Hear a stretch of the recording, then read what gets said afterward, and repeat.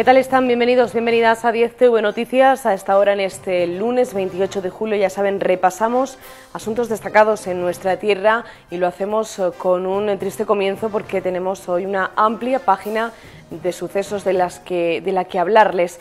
Nueva víctima de accidente laboral en nuestra tierra. En Martos, este mediodía, ha fallecido un trabajador de 33 años en la planta de Baleo tras sufrir una descarga eléctrica que le provocaba una parada cardiorrespiratoria. Pese a la pronta intervención de los efectivos sanitarios, que lo trasladaron rápidamente hacia el centro sanitario mientras le practicaban maniobras de reanimación, nada se pudo hacer por salvar su vida. El protocolo habitual en estos casos se ha activado para investigar y esclarecer lo sucedido. Fin de semana trágico también en las carreteras de nuestra tierra, dos accidentes circulatorios que se han saldado con la vida de cuatro personas. El más grave fue el ocurrido en la tarde del pasado sábado en el kilómetro 37 de la A44 en el término de Jaén. El vuelco de una furgoneta dejó sin vida a dos niños de 8 y 12 años. Horas más tarde fallecía en el complejo hospitalario de Jaén una mujer de 54 que junto a los fallecidos viajaba desde Madrid con destino a Marruecos.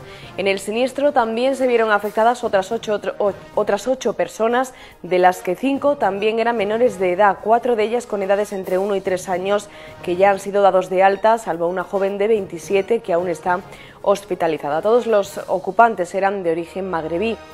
El otro accidente mortal tenía lugar en la tarde del viernes, un joven de 25 años de edad perdió la vida como consecuencia de una colisión de la motocicleta que conducía con un turismo en la Nacional Cuarta a la altura, a la salida de Bailén. De las últimas horas también destacamos el accidente que sufrió una mujer de Cazorla de 48 años de edad que ayer domingo caía a una piscina vacía en el término cazorleño golpeándose la cabeza desde una altura de casi 3 metros. Fue trasladada rápidamente en helicóptero al Hospital San Juan de la Cruz de Úbeda y más tarde al neurotraumatológico de la capital donde se encuentra estable y recuperándose. Detención de 27 personas en el marco de una operación a nivel nacional desarrollada entre otras provincias la nuestra, Jaén, Madrid, Ciudad Real, o Alicante. Arrestos por trucar cuenta kilómetros de hasta 48 vehículos en concesionarios. Varios de los detenidos eran manipuladores profesionales que al parecer trabajaban para los dueños de los talleres, variando el kilometraje de los vehículos y cobrando según la dificultad del trabajo. Pero hay otros asuntos, hay más cuestiones tras los titulares de hoy. La liturgitana Micaela Navarro, presidenta del PSOE en Andalucía, estará al frente de la Ejecutiva Federal tras el respaldo de los socialistas de la provincia en el Congreso de Madrid, en el que se ha proclamado oficialmente a Pedro Sánchez como líder.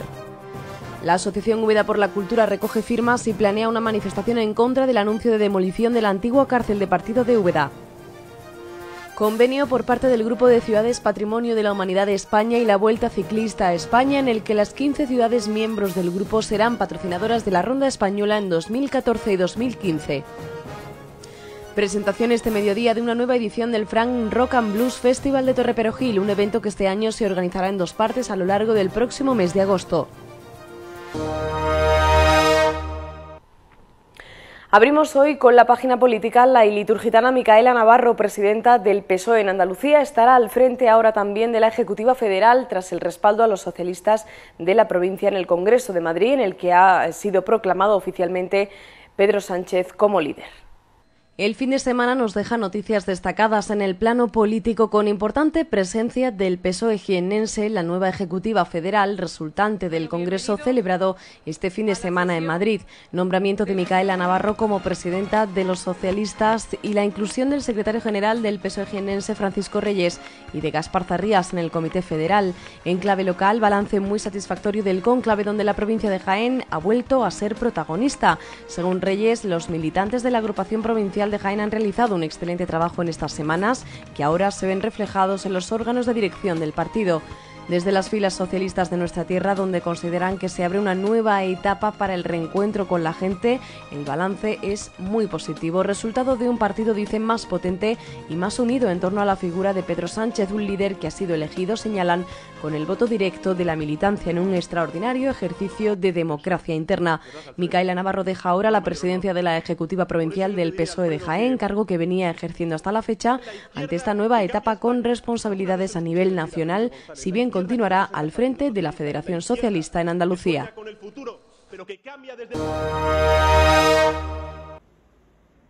Colea el asunto del convenio urbanístico relativo al matadero de pollos Alameda de Úbeda que volvió a decaer en la última comisión celebrada la semana pasada en el ayuntamiento y que se llevará a pleno esta semana. La portavoz del grupo mayoritario de la oposición, el PSOE, Antonio Olivares, respondía a las críticas del alcalde José Robles respecto a la responsabilidad de la oposición de aprobar este asunto. Según la socialista, el primer edil no se ha reunido con los trabajadores de la planta avícola y le acusaba de tomar decisiones en su despacho sin contar con nadie. Se preguntan los socialistas por el interés del Partido Popular, dicen, por remover un convenio que está muerto.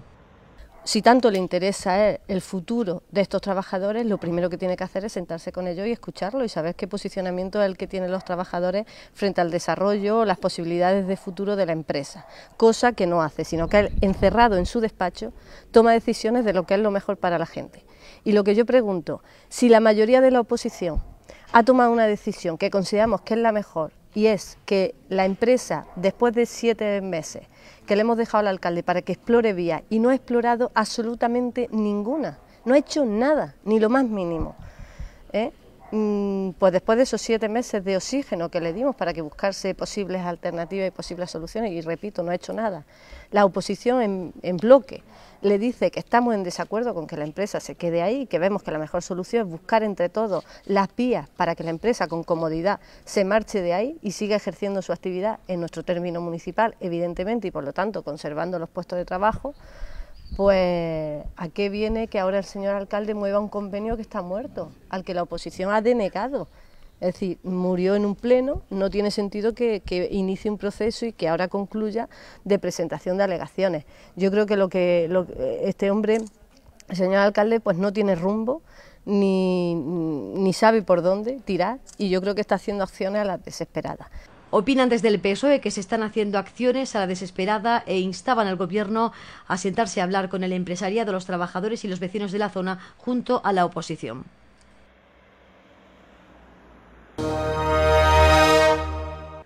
El PSOE pone el acento en la próxima Feria de San Miguel y en los conciertos que finalmente llenarán la caseta municipal de actuaciones durante estos días. Para los socialistas, la fórmula escogida por el gobierno municipal para elegir una u otra propuesta artística ha sido, dicen, puramente la económica, sin establecer otros criterios de calidad o idoneidad para el público. Según el concejal Jerónimo García, la diferencia entre la propuesta escogida y las otras son mínimas. Y había por ahí, había por ahí propuestas tan completas, por ejemplo, en las que venían celtas cortos, secretos, humoristas, en fin, unas actuaciones realmente acordes con las circunstancias, incluso otras eh, mucho con más número de actuaciones casi todos los días. Y no entendemos que el argumento sea que vale 100, 200, 300 euros, un 3, un 4% menos de presupuesto eh. Pues no, señora Olmedilla, lo que hay que hacer es a ver qué es más completo, es equiparar artísticamente, equiparar las necesidades y ver evidentemente el presupuesto. Y la que te guste, apretar y trabajar en ese presupuesto para reducirlo al máximo. Es tan simple como eso. Y así podremos obtener una caseta municipal variada, eh, de calidad. También hacían referencia al aspecto taurino. Según los socialistas, se vive una incertidumbre taurina y critican al alcalde José Robles de ningunear el trabajo de la Concejalía de Festejos y Cultura, tradicionalmente encargada de estos lares. Dicen que a estas alturas nada se sabe de este aspecto, siendo Úbeda una ciudad con arraigo de esta fiesta. Asunto para la polémica el referido al anuncio de demolición de la antigua cárcel de Úbeda, anunciada desde la Sociedad de Infraestructuras y Equipamientos Penitenciarios dependiente del Ministerio de Interior. El colectivo Úbeda por la Cultura sigue en marcha con sus acciones de protesta en contra de esta medida, recordando no solo el interés arquitectónico del edificio, sino el valor que para la historia de la ciudad representa. Cerca de 400 firmas ya se han recogido de manera telemática en contra de la demolición, aunque a este acto le seguirán otras reivindicaciones indicaciones como una manifestación que se está programando para finales de agosto o principios de septiembre. El objetivo del Ministerio de Interior contrasta con la intención de este colectivo de declarar la zona como lugar de memoria democrática. Entre los apoyos sumados a la causa figuran los del exdefensor del pueblo andaluz José Chamizo y el productor musical Paco Ortega, los escritores Antonio Muñoz Molina, Rosa Montero o Miguel Pascuau, el actor Pedro Miguel Martínez, Arsenio Moreno Mendoza, que es miembro de la Real Academia de Bellas Artes de San Fernando, el compositor y músico Jerónimo Maiso o el barítono Damián del Castillo, entre otros. Hay más asuntos, antes unos consejos publicitarios y se los contamos a la vuelta.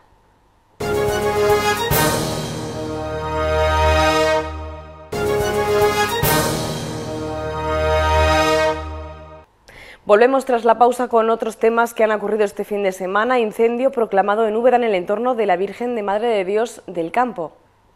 Incendio este pasado fin de semana en la Virgen de la Ermita de Madre de Dios del Campo, situada en la carretera de Torreperogil. Sobre las nueve de la noche del viernes, los bomberos de Úbeda recibían la llamada ante las llamas que se originaron en la zona de velas y flores de este pequeño altar.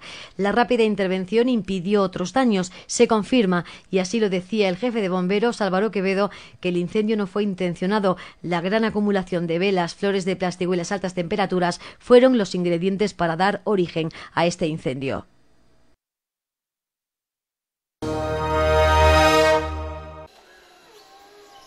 La primera fase del Plan 2014 de ayuda alimentaria llega a su fin con una valoración por parte del Ministerio de Agricultura ante el reparto de cerca de 4 millones de kilos de alimentos entre unos 585.000 andaluces con dificultades, una herramienta que procede del excedente europeo y que está siendo gestionada directamente en las distintas provincias por Banco de Alimentos y Cruz Roja. En la provincia de Jaén ha sido en esta primera fase 244.000 kilos de alimentos los que se han repartido para la atención de más de 40.000 personas en este mes de julio. La demanda se mantiene en los mismos niveles que a primeros de este año, tal y como apuntan desde la Fundación Banco de Alimentos de Jaén. Igualmente trabajan para que los proyectos en cuanto a ampliación de infraestructuras y puntos logísticos en la provincia se retomen. Están pendientes de municipios como Linares o Úbeda, además de instalación de una cámara frigorífica y congelación en las dependencias que gestionan en la capital jiennense.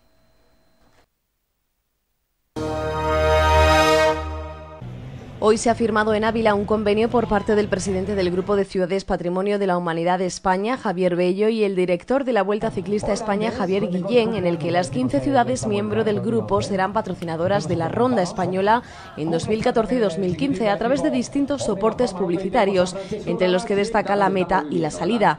Una acción del grupo inscrita en el Plan Operativo de Turismo 2014 como parte de las actividades de difusión entre el público final nacional e internacional de los 15 destinos patrimoniales de la red, dado el prestigio y la gran repercusión mediática de la vuelta, tanto en España como en otros países. Este gran evento mueve alrededor de 3.500 personas y llega a 178 países desde los ayuntamientos de Úbeda y Baeza. Se considera esta una oportunidad única, ya que las 15 ciudades estarán presentes durante la gira y se beneficiarán de una publicidad que favorecerá la afluencia turística a los distintos destinos, entre ellos el conjunto Úbeda Baeza. Música Presentación este mediodía de una nueva edición del Frank Rock and Blues Festival de Torreperogil, un evento que este año se organizará en dos partes a lo largo de este próximo mes de agosto. El día 2, concretamente, será el turno para las bandas noveles y grupos locales en el Parque de la Mejorana, que podrán tener un espacio en el que promocionarse y comenzará a las 12 del mediodía con la actuación de cinco grupos en cartera. La segunda parte será el 8 de agosto en el Auditorio de Torres Oscuras con un plato fuerte, uno de los grandes, como cabeza de cartel. Decir, que viene Raimundo Amador, tantísimos años por aquí sin venir, bueno, que yo recuerde ninguno, que es la primera vez que viene. Bueno, ¿qué vamos a hablar de? Que se ha juntado con los. Mm, se ha con las mejores bandas como Buddy Mine, batería de Jimi Hendrix, con B.B. King, ni que hablar de B.B. King. Bueno, con los mejores, pues a Raimundo, aunque no lo creéis, lo traemos aquí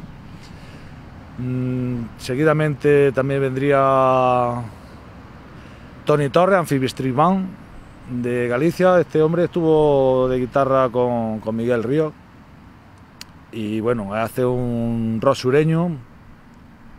Solamente escucharlo y no, no puedo decir, anticipar más nada porque creo que va a dar la talla, incluso la va a superar y como tercer grupo de esta velada, el día 8 de, agosto, sería un grupo local que se va a presentar en sociedad, lo vamos a presentar en sociedad, Muz Potion, y creemos, son dos, dos, integrantes que creemos que, con dos va a sonar super banda, va a sonar algo muy grande. Siempre en este pueblo había una trayectoria muy buena, intensa de este género musical y bueno, para no olvidarlo, ¿no? porque Fran nos dejó ahí un, legado muy bueno ¿no? y nos enseñó mucho lo que es la música y, nos enseñó a preparar todas estas cosas y bueno, pues para que no se pierda y y que se disfrute de esta música por aquí, por esto, que es raro, ¿no? Es raro, ¿no? Que, no, que nos guste este tipo de música por aquí en el sur, ¿no? Pero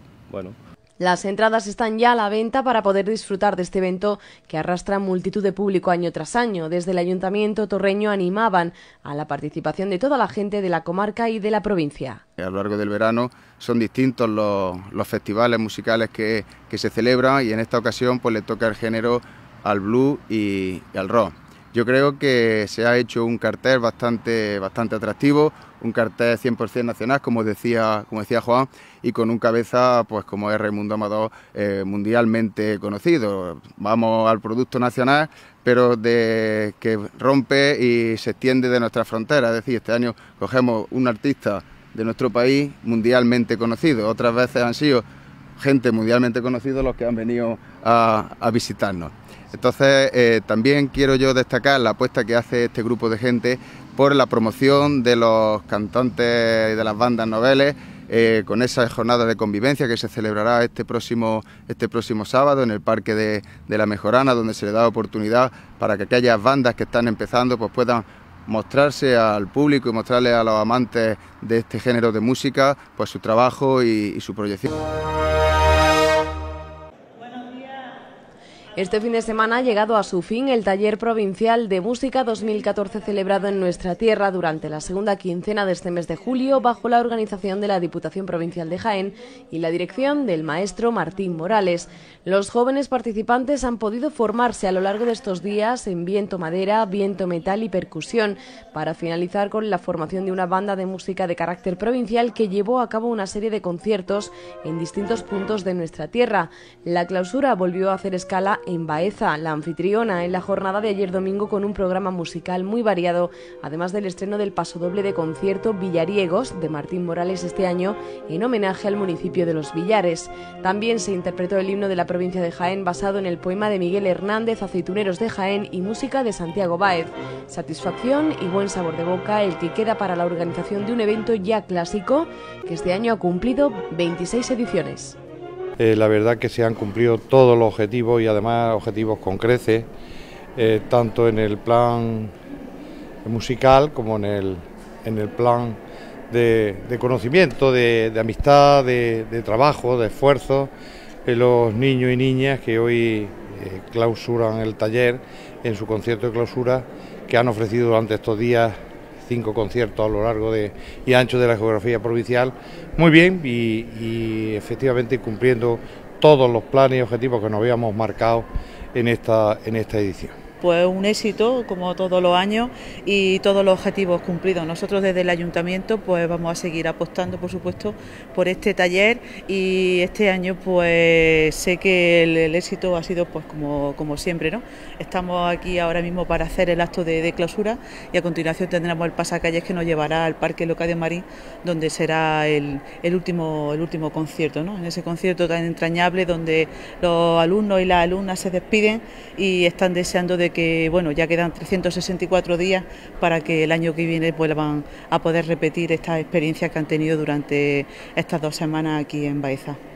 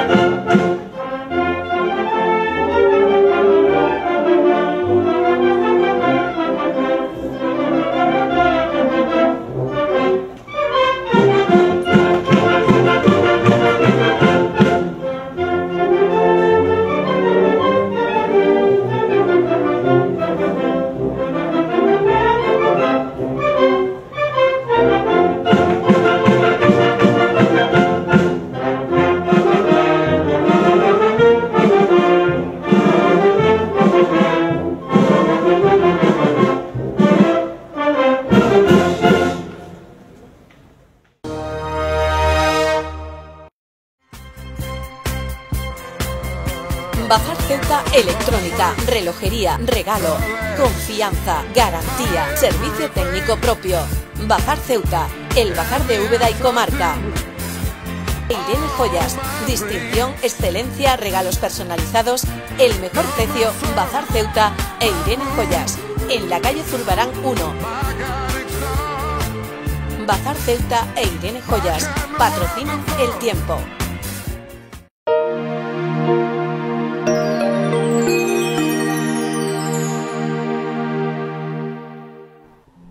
Cielos poco nubosos con alguna nubosidad de evolución diurna en las sierras del nordeste en este lunes, temperaturas máximas sin cambios que rondaron los 33 grados y mínimas en descenso hasta los 21. Los vientos fueron flojos de componente oeste. Para mañana martes, previsión de la Agencia Estatal de Meteorología de cielos poco nubosos o despejados, salvo nubosidad en las sierras y temperaturas que no van a variar mucho. Las mínimas en descenso hasta los 20 y las máximas también van a bajar en torno a los 30 grados. Viento de componente oeste flojo durante la tarde tenderá a variable flojo.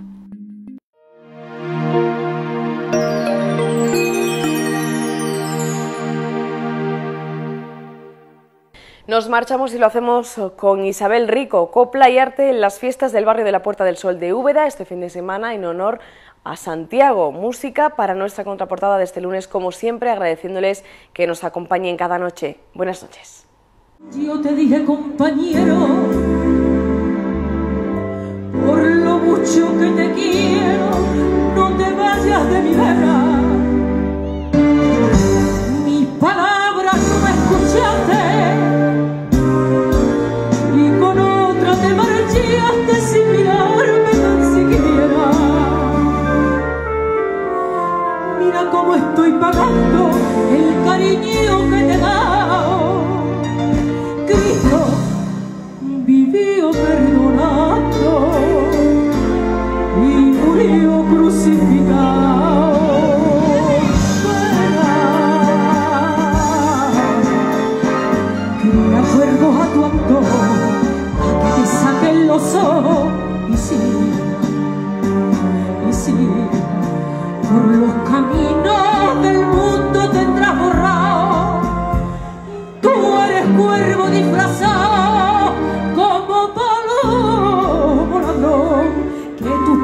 son puñas que me rompen con las uñas las telas del corazón. Pena,